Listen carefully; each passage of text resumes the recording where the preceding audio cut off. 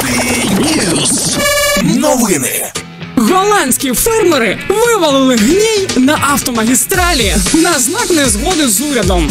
Влада зобов'язала фермерів обмежити викиди в атмосферу окису азоту та аміаку, які виробляє худоба, на 50% до 2030 року. Але дотримуючись цих вимог, багато ферм можуть збанкрутувати.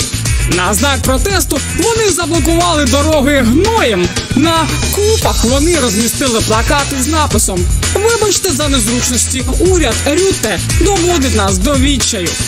Happy News. Новини.